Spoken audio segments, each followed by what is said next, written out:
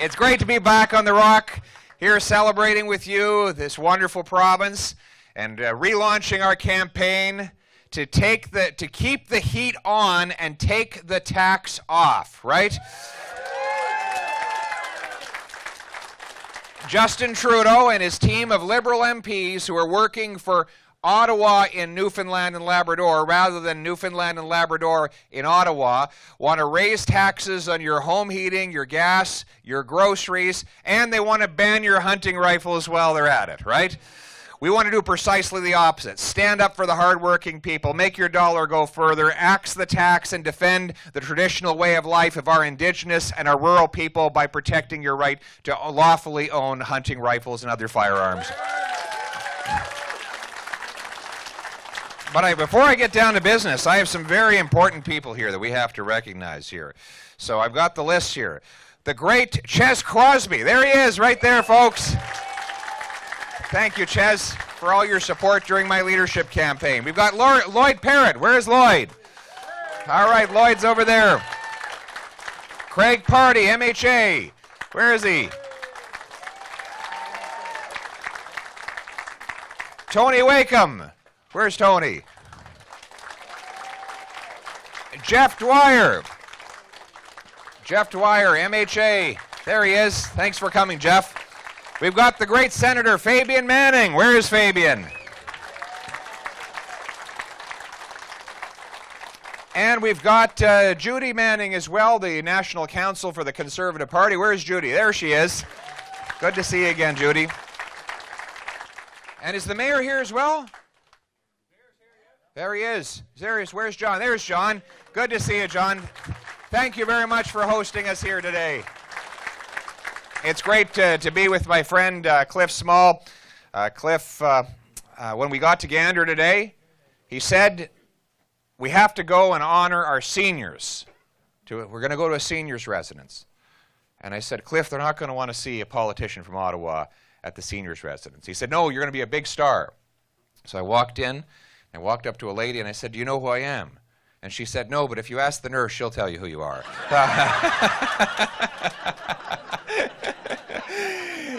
it's good to be made humble, isn't it?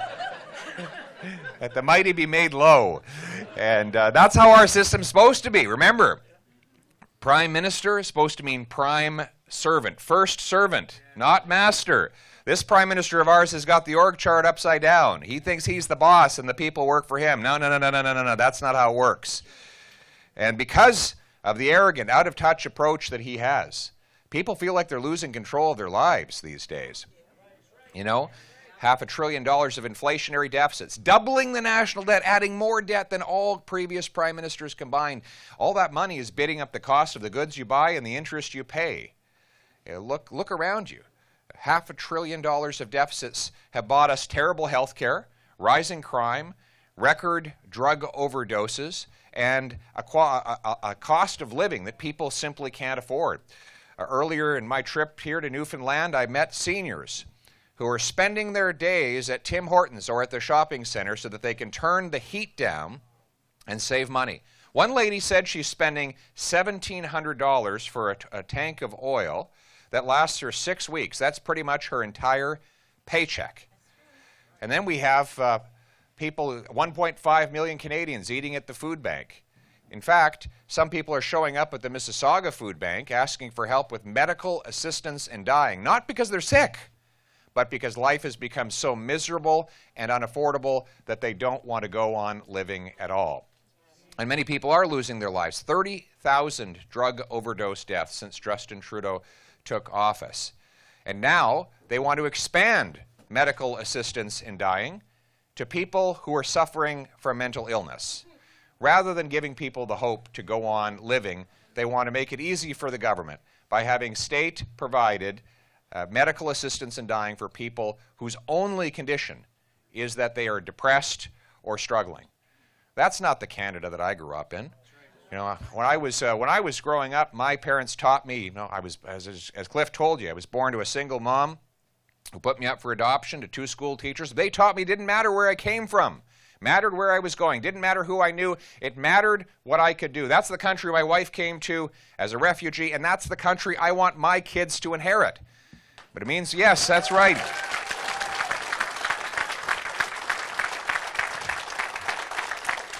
It means we want to put people back in charge of their lives by making this once again the freest country on earth. And let's get down to some of the specifics. Well, one of the reasons we have this out of control inflation is because the cost of government is driving up the cost of living. I'm going to cap government spending with a new dollar for dollar law that requires the government find a dollar of savings for every new dollar of unbudgeted spending. And there's lots of waste. We know there's lots of waste out there they can cut, but there's no incentive for them to cut it because they just pass the bill on in higher debt, taxes, and inflation. Just today, we found out that the total hotel room cost for all of the fancy people that went to the Queen's funeral was $400,000. This is a three day delegation. One of the rooms cost $6,000 per night for a single room. Cliff, who stayed in that room? Were you, were you staying in that room? It was just a prime minister. Well, we asked, I asked Justin Trudeau five times on the floor of the House of Commons who stayed in the room. He won't tell us. So, anybody got any guesses who the mystery man or the mystery woman is who stayed in that room? Well, the Taxpayers Federation is actually taking the government to court to find out who stayed in that room. Uh, don't you think it's time we find out? So we, we got Canadians who are forced to live in homeless shelters while they go to university. The Prime Minister has a friend that's staying in $6,000 room uh, hotel rooms. But it's not just the hotel. It's the $54 million for the ArriveCan app, an app that didn't work, wasn't necessary, and could have been designed for $300,000. They spent $30 billion on wage subsidies to companies that were profitable enough to pay out dividends and bonuses to their executives. That money was supposed to go to companies that were hurting, not those that were helping their most wealthy and most powerful people. They're giving billions of dollars in loan guarantees to large infrastructure companies so that if the project goes under and loses money, the taxpayer picks up the profit, but the cost. And, but if the project goes well, then the company takes away the profit. They've increased the size of the federal bureaucracy by 30% in eight years. And on top of that, they've doubled the amount of money they spend on outsourcing to consultants because apparently all these extra public servants are not able to do the work in house, including McKinsey. $100 million for McKinsey. So there's lots of waste in this government but we need to incentivize the system to save the money. So we're going to cut back on the high priced consultants. By capping spending, we'll force ministers and deputy ministers to make the same either or decisions with your money that you make in your household. If you want to build that extra porch, you might take a pass on the vacation, or you might work at getting a bargain on both, but in your household, you can't go over budget. Government should be the same. It should live by the same laws of scarcity that applies to every creature in the universe except the politician. Well, let's bring that rule on the backs of politicians so that they have to make the tough choices to save money so that we can phase out the deficit. The Americans brought in this law back in the 1990s, and they were able to phase out the deficit and, and pay down $400 billion of debt. And as soon as that law lapsed, they went right back into deficit and haven't reemerged since, which proves politicians need laws to, li- to limit their spending. They need to be disciplined by law or they will spend irresponsibly. I'm going to bring in that law. We're going to balance the budget. We're, you've been pinching your pennies long enough. It's time that politicians started pinching their pennies too. Yeah.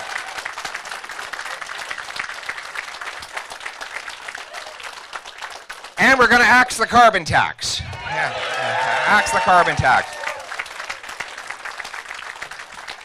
We put forward a motion in the House of Commons to say, listen, the NDP and Liberals want to triple, triple, triple the tax, apply it to your heat, your gas, your groceries, and everything else.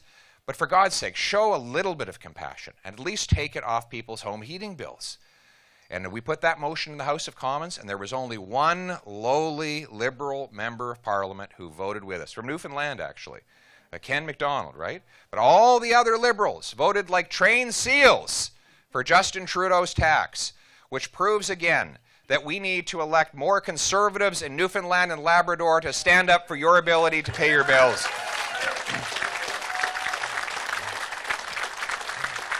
This tax does nothing for our environment. We've missed every single climate change target, target since Trudeau took office. What it does is drives prices up and production out and pollution up in other parts of the world. I'll give you an example.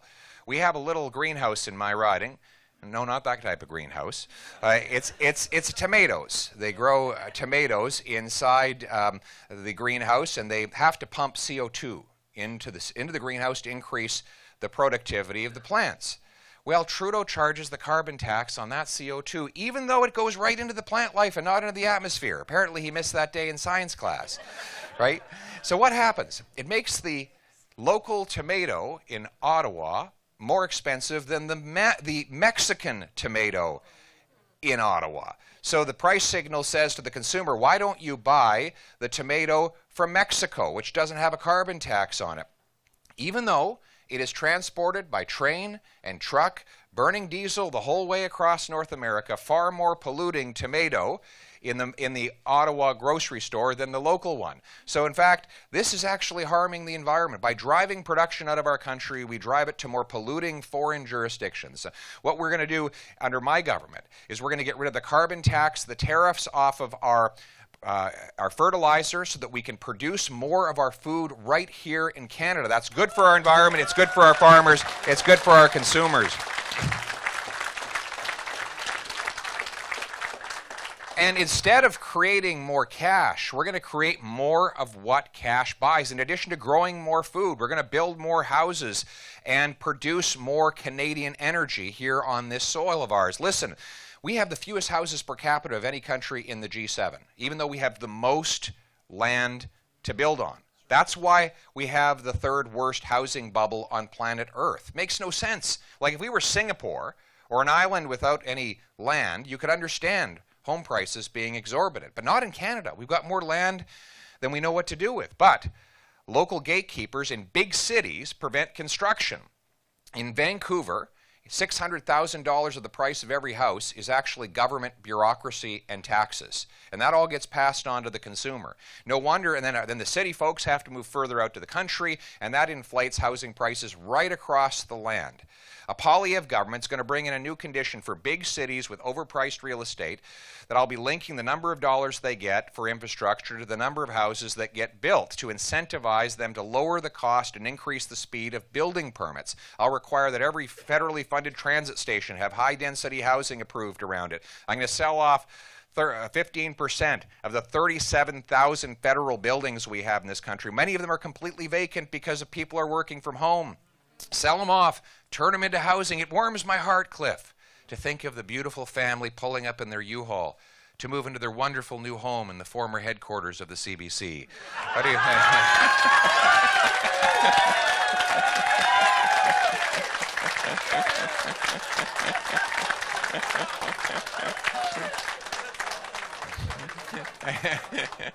and we're going to support the trades, right?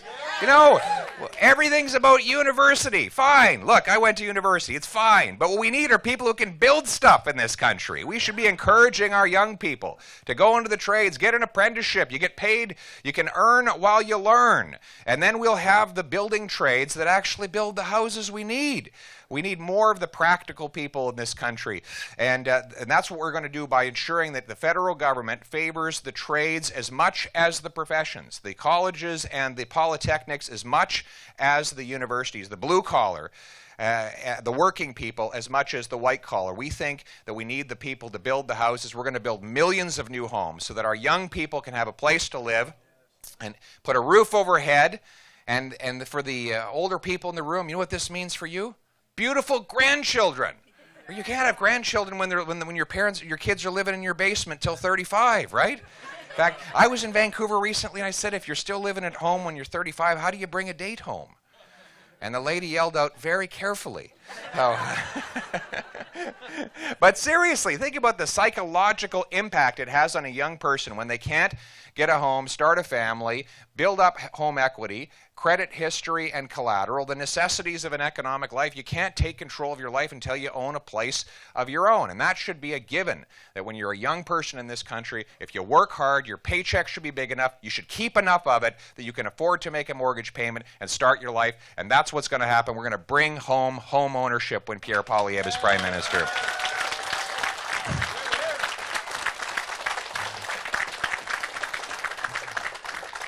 You know, and for a nation to take control of its destiny, it must be energy independent. And there's no excuse for Canada to be otherwise. We have the third biggest supply of oil on planet Earth, and yet Justin Trudeau wants us to import overseas oil from places like Saudi Arabia. 130,000 barrels of overseas oil imported to Canada every single day.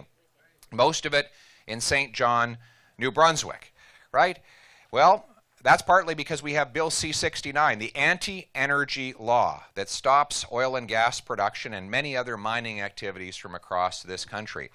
Uh, and that's why I'm going to repeal C69. We're going to build pipelines. We're going to approve more oil and gas projects. And I'm going to back up Newfoundland's plan to more than double its production so that we can produce 400,000 more barrels of oil every single day in eastern Canada to fully replace the 130,000 that are coming in from overseas. And we will become energy independent under Pierre Poilievre. We'll bring it home. It's not just oil, it's natural gas. We have 1,300 trillion cubic feet of natural gas here in Canada. And they need it in Europe. The German chancellor came over here asking for our gas. The Japanese prime minister came for the very same reason. And Justin Trudeau said, no, go to the Kremlin. Call Vladimir Putin. He'll provide you with natural gas. And of course, he'll use the money to fight his wars. So we're, we're, we're sending money over to Vladimir Putin by keeping our natural gas in the ground.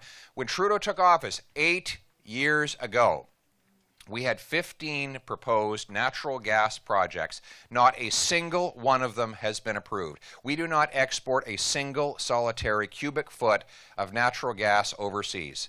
It stays in the ground or it goes at a discount to the Americans when we could be profiting from it here at home. When, when I'm prime minister, I'm going to be approving natural gas projects. You know why we have a massive advantage? What are the advantages we have in gas? One, that we have the shortest shipping distance to both Europe and Asia from North America. Two, you know how you turn gas into a liquid so it can go on a ship?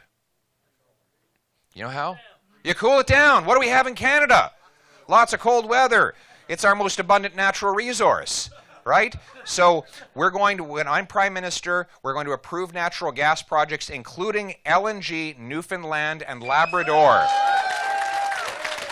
LNG, Newfoundland, Labrador. And the people of this great province will pipe that gas from the Jeanne d'Arc oil field over to the coast, put it on a ship, cool it to minus 161 degrees Celsius, send it overseas to Europe, break the European dependence on Putin and turn dollars for dictators into paychecks for our people in this country. Let's bring it home.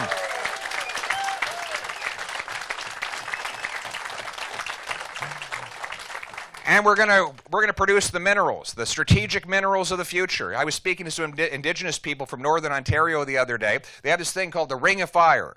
Incredible minerals there. Been talking about it for 15 years, but nothing's happening. Why? Permitting takes too long. In fact, they've been waiting five years to get a permit for a highway to get to the future mines. And I asked these indigenous leaders, are the shovels in the ground? They said the snow shovels are in the ground. They have snow roads still. Five years and $50 million spent trying to get a permit, and the permit is not even granted. This is the gatekeeper economy that I keep talking about. We need to clear the way, quickly approve these projects so that all the minerals that go into electrification and to the future economy actually come from Canadian soil. We're going to stop exporting our jobs, our businesses, and our opportunities. We're going to bring it home. We're going to put our country first, our workers first, our people first, and let's make it happen here in this country.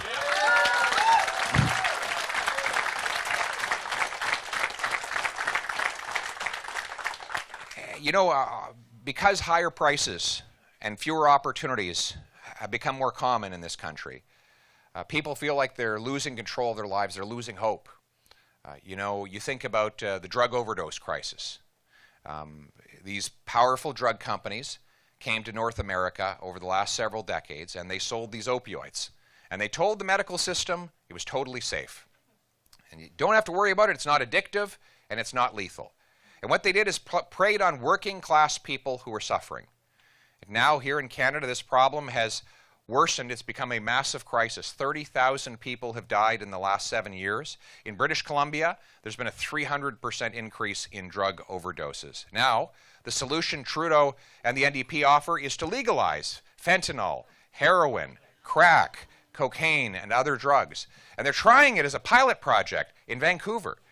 Tent cities have resulted, where half a dozen people die every single day, face down on the pavement. Police are not even allowed to do anything about it, and the local authorities hand out the drugs, saying that it's safer if people can get the drugs from the government. Well, that hasn't happened. In fact, more overdoses have resulted as people are not satisfied with the drugs the government gets. They resell those into the market to buy the harder stuff that's actually killing them. A Poilievre government is not going to give up on people in this way. In fact, instead of legalizing drugs, we're going to massively expand drug treatment. We're going to provide detox and counseling and other programs that will help people take back control of their lives. And you know what else we're going to do? The same thing with those pharmaceutical companies that governments did 25 years ago with the tobacco companies. A Poilievre government will sue the pharmaceutical companies that did this in the first place and make them pay the full price of the recovery and treatment. And by the way, that includes McKinsey, Justin Trudeau's favorite consulting firm. This company, which put together plans to turbocharge the sale of those drugs across North America, including paying bonuses out to distributors who helped deliver drug overdoses. They literally did that. They, they will be on the list of, of defendants who will have to explain what they did to our working class people. We're going to make them pay the price, and other drug companies pay the price for the horrors that they have unleashed in our cities. And we're going to give hope back to our brothers, our sisters, our friends, our neighbors. We're going to overcome this crisis and give people the hope of a drug free life in the future. Um, and we're going to stop we're going to stop the insanity of the criminal justice system, which targets all the wrong people. You know, Trudeau's now going after hunters. I've got news for him. It is not the hunter in Labrador that's shooting up downtown Toronto, right? in fact, we know who's doing all the shootings. It's money, it's drugs that are coming, sorry, it's guns that are coming over the border from smugglers. 82% of firearms used in crime in Toronto come in illegally across the border. It is not those firearms in the possession of people who have PALs. If you got a PAL, your possession and acquisition license, you probably went through all the steps of getting trained and vetted, and the RCMP called your spouse to make sure that you're okay upstairs, right? The people who go through all those steps don't tend to rob banks, right? In fact, one of my MPs, Bob Zimmer, did a study to find that people with PALs, possession and acquisition license, are half as likely to commit a firearms offense than people a random person on the streets. The people who own rifles are our safest and most responsible people. They're using their firearms not only for recreational purposes, but in many parts of this country for sustenance itself. And so I want to tell you that Poilievre government, in fact, a Poilievre-led opposition in the meantime, will fight tooth and nail against Trudeau's ban on, on firearms, and we will defend your right to hunt and carry out the Canadian traditions. And we'll go after the real source of crime. In Vancouver, 40 offenders were arrested 6,000 times in one year. Think about that. That's 150 arrests per offender per year. But Justin Trudeau's bail reforms allow them to be released the same day they're arrested. Automatic bail. So violent offender commits a crime at 10 a.m. He gets arrested, goes in, gets arraigned, gets bail. He's out by 1, 1 p.m. Goes in, commits another crime smashes somebody's face up, gets arrested, goes in, gets bail a second time in the same day. And then by midnight, he's probably been arrested a total of three times. Well, that's three people's lives who may have been destroyed. What we're going to do is repeal these insane bail rules, put people behind bars. If they have a track record of repeat violent offenses, they should stay in jail until such time as their trial occurs, and if they're convicted, until such time as their sentence has been fully served. That's the solution. Right. Really, it's about common sense, isn't it? It's common sense. You know, it's uncommon, though, these days, isn't it? And that's the problem. We have this elite group that thinks it knows better than everyone else. They want to make your decisions for you. In faraway places, sometimes it's not just Ottawa, it's over in Davos. And that's why I'm so proud that I made the commitment during my leadership race, and we've kept it ever since. Not a single solitary conservative MP is part of the World Economic Forum, and they will never be.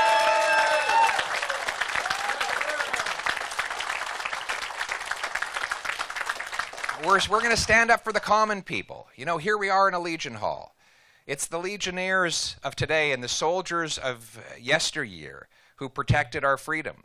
Any Winston Churchill fans in this room? I've got a lot of Winston Churchill. You know what I like most about Churchill? It's not just his 58 volumes of Nobel Prize winning literature. It's not just that he defended uh, the free world against Nazism and communism. It's not even just the brilliant speeches that broadcasted over British airwaves and around the world in our hour of need. It's that he was a real champion of the common man.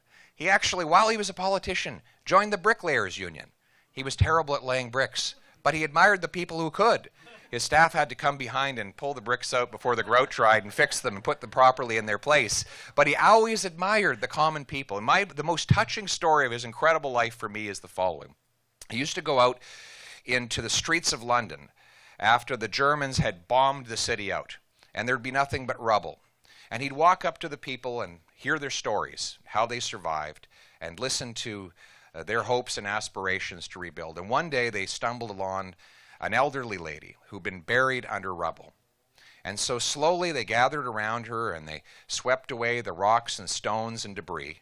And she, she'd been out shopping that day when she was trapped under this, uh, this falling rubble. And amazingly, she wasn't badly injured. She stood up, she grabbed her groceries, and she said, Prime Minister, I'd love to stay and talk, but I've got things to do. And she marched off along her day. And Churchill's staff looked over at him and noticed that he had tears pouring down his face. And he said, There goes greatness. He understood that the war would not, yes, that's right.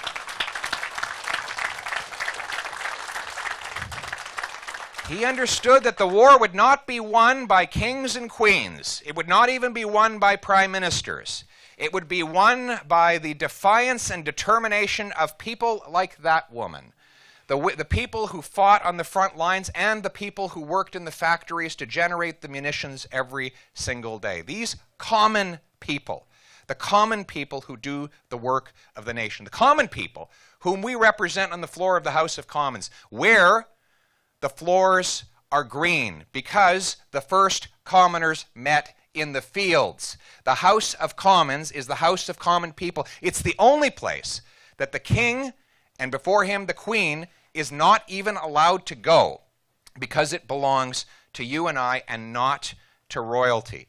The common people. When I think of the common people, I think of the waitress who is a single mom and raises her own kids. We say that she's ordinary, but actually, she is extraordinary. The mechanic who can take apart and put back together an engine we call him an ordinary man, but actually he is an extraordinary man. The farmer, who must know all of the sciences of the weather and all the prices of the commodities and all the risks that come with the pests of the land. He, he's called an ordinary man, but in fact, he is extraordinary. All of these people have a kind of wisdom and a kind of sense that is lacking among the most privileged and the most powerful we have to remember that we work for those common, extraordinary people, the common people, in the House of Commons. In the words of the great Canadian Prime Minister John Diefenbaker, I am a Canadian, a free Canadian, free to speak without fear, free to stand for what I think right, free to oppose what I think wrong, free to worship God in my own way, free to choose those who shall govern my country. This heritage of freedom I pledge to uphold for myself and for all of mankind. Now let's bring it home, my friends. Thank you very much.